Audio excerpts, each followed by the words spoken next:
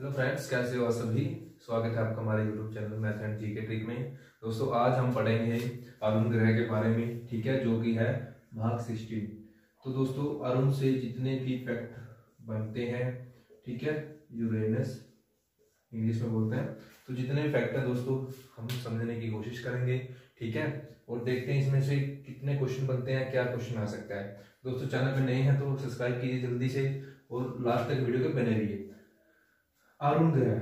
तो दोस्तों, अरुण तीसरा यानी कि थर्ड आकार में बड़ा है। अभी बताता हूँ कैसे है।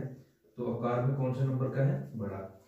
तीसरा, सबसे बड़ा बृहस्पति, फिर मैंने बताया था शनि, अरुण, ठीक है? तो ये कौन से नंबर का हुआ?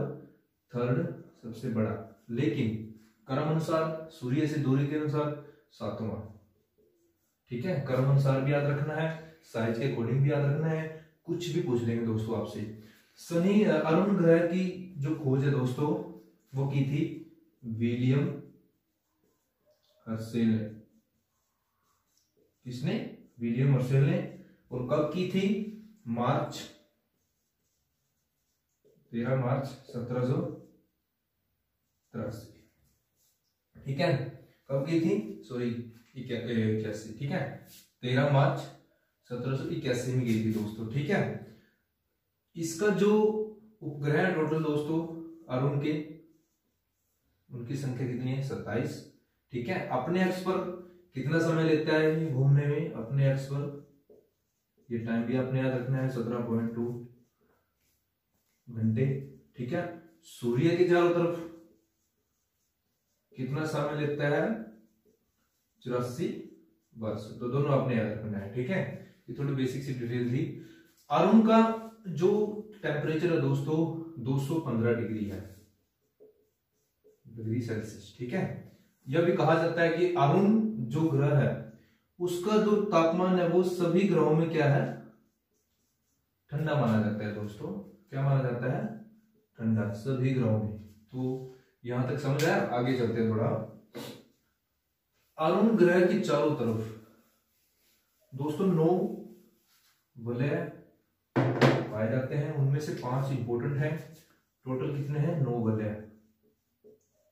ठीक है? पाँच की हम डिस्कस करेंगे।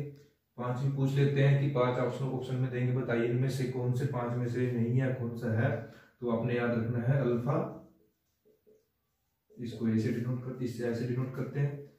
बीटा गामा, ठीक है, और one, two, three, alpha, beta, gamma, delta, ऐसे, और इप्सिलोन, ठीक है तो टोटल कितने हैं? नौ, और इनमें से पाँच मुख्य कौन से हैं? Alpha, beta, gamma, delta, epsilon, ठीक है, ये आपने याद रखना है। अरुण और शुक्र। दोस्तों, मैंने बताया था कि अरुण और शुक्र दो ऐसे ग्रह हैं जो क्या करते हैं? सभी ग्रहों के विपरीत। बाकी ग्रह कहाँ से, कैसे कैसे घूमते हैं? पश्चिम से पूर्व सूर्य की परिक्रमा करते हैं। लेकिन दो ग्रह ये कैसे परिक्रमा करते हैं? पूर्व से पश्चिम। ये क्वेश्चन भी आ चुका है।